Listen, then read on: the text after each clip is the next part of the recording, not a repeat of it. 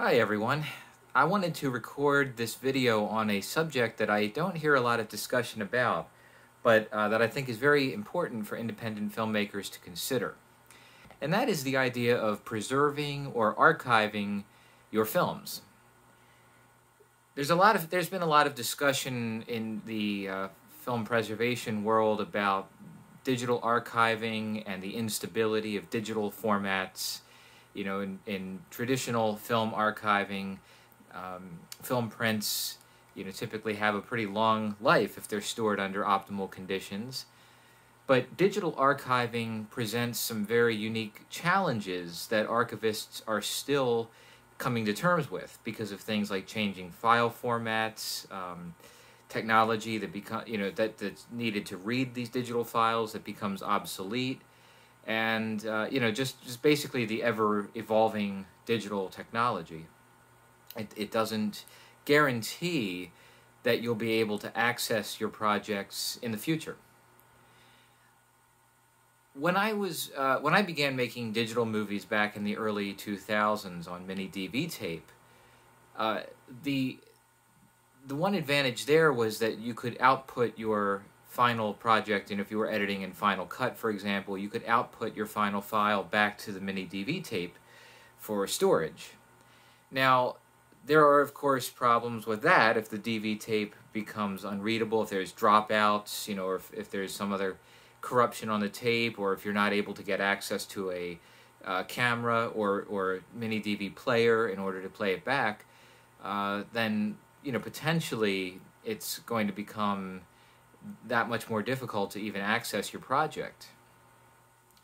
But once uh, camcorders made the switch over to shooting on digital files, you know, with hard drive based cameras, SD card based cameras, uh, you know, smartphones, for example, this problem became even more of an issue because now everything you're dealing with are, are you know, digital files, and it's very easy for those to become um, you know unreadable or corrupted if if they're on a hard drive that fails, for example, or if they're in a codec that is uh, no longer supported by the software that you're using, you may not be able to open the files at all.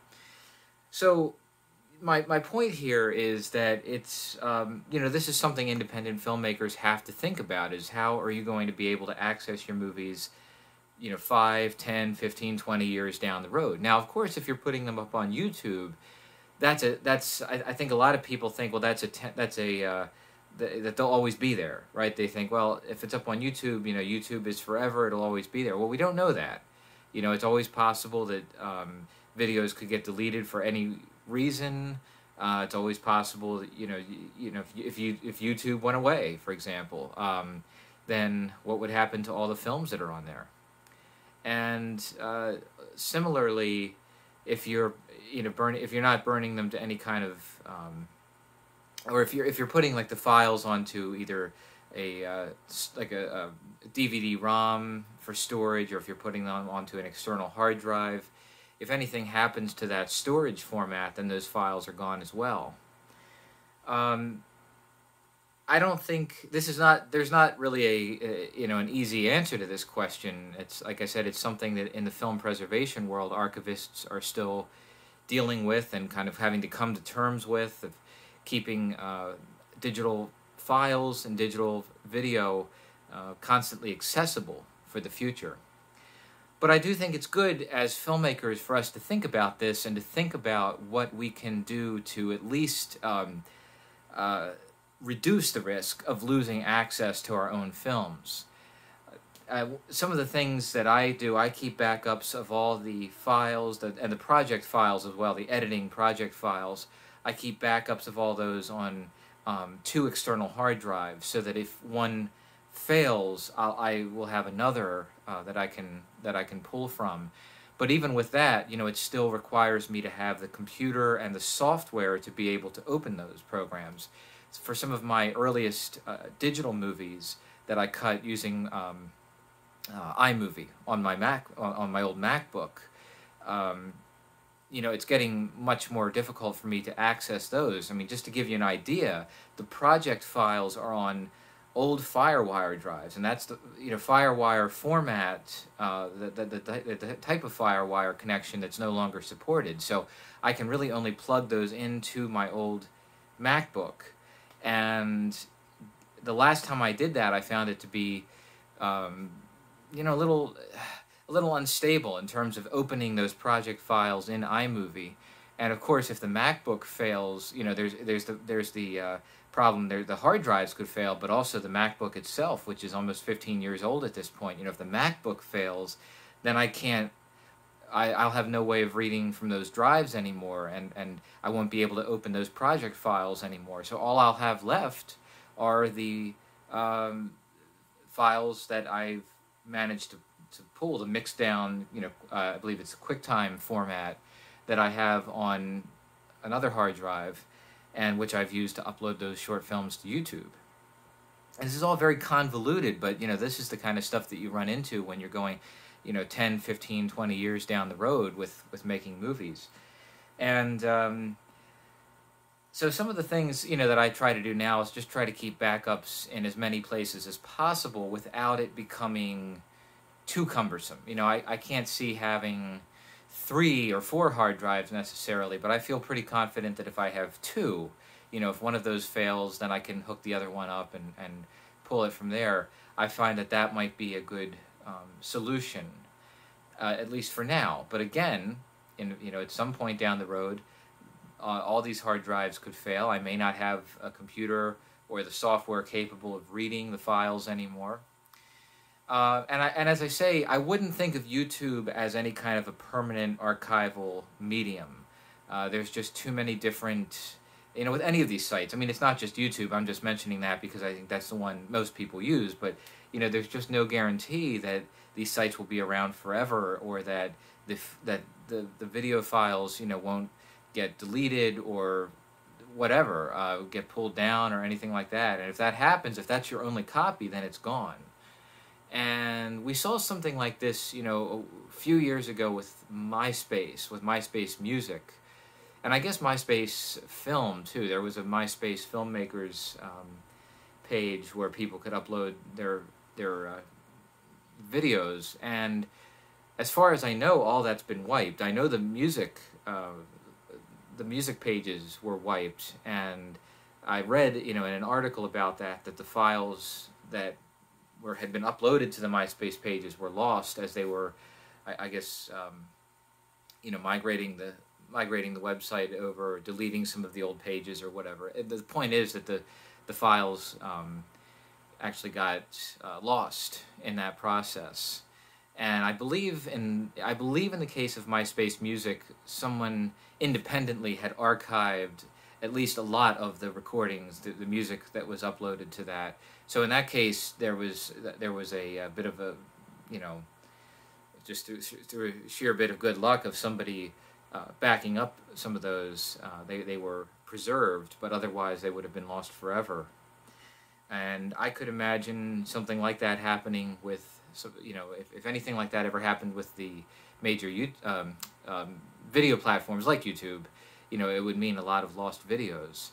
Now, one site, and I'm, I'm kind of just putting this out because I'm, I'm also just curious what other uh, independent filmmakers think about this issue and how you deal with archiving and preserving your own films.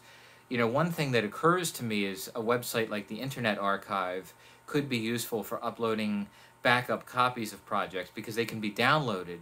They can be uploaded there and then uh, also downloaded again, I believe in full resolution. So there's you know, it, it is in a way like it's a, a, its own little archival, um, you know, a little alternative, I guess, where you don't necessarily have to um, direct people to watch your movies there, but you could upload them and keep them as a, you know as a way of archiving it, and, and that way you could uh, you know go back and download those files if you if they ever get lost. Um, but again, I, I mean none of this none of this is guaranteed, right? I mean I, I have to say that's that's the big um, concern that there's no there is no 100% guarantee that this, these things will always be accessible. So this is why this is just an ongoing question um, of how how do you take all the steps that you can, you know, reasonably to ensure that you'll still have access to your to your movie projects down the road. So I'm curious to hear from filmmakers on this subject. I'm curious what thought you've given to archiving and preserving your own movies, your digital, both your original um, camera files, but also the project templates that you're editing in. You know, if you wanted to go back in and make some changes to a project, you know, would you still be able to open up that editing program and make the changes there? Do you still have access to that? And if so, how are you uh, storing those those saved projects project files? Um, I'm also curious if you've ever had the experience of losing a film because you you didn't back it up or preserve it. You know, it's it's a little um, it's kind of funny actually. Some of my earliest movies that I made back when I was a kid shooting on the um, eight millimeter videotape, you know, with the Sony camcorder. Uh, when I was done with a project, I would pretty much have to edit either edit in camera or um, you know edit to a, a VHS tape. But in, in either way, when I was done, I would put the final project out onto a VHS tape to store it. And I still have everything I backed up like that. I still have, and I can actually still play them on VHS. But the funny thing is, I I realized that back when I first started making these movies, um, you know, I only had so much, so many of the eight millimeter Sony um, uh, video tapes that I could that I could record on in the camera, and sometimes I would get so excited to make another movie that I would actually record over a, a, one of my old movies before I'd had a chance to back it up to VHS because I was just excited to be making another one, and I wouldn't. You know, there are a, few times where I didn't actually take the uh, step of backing it up on VHS, and as a result, those tapes were wiped. The original, um, you know, tapes, I mean, were wiped, and the projects were lost that were on them. So I actually did lose a few of my films I own, my uh, my own films that way. But uh, you know, I think as as everything becomes increasingly digital, and there's incre- all these different. Well, it's totally digital now, but I mean, uh, as, as, things become increasingly complicated with different uh, programs and codecs and file formats, I think it's it's also going to get increasingly uh, difficult to try to ensure that all of this digital video will always be accessible and playable and retrievable. Anyway, I'm curious how you know filmmakers how you deal with this issue, what thoughts you've given to this, and uh, you know I think it might be an interesting discussion if you want to leave some comments in the uh, in the in the comment section below. Anyway, thanks for watching, and I will talk to you later.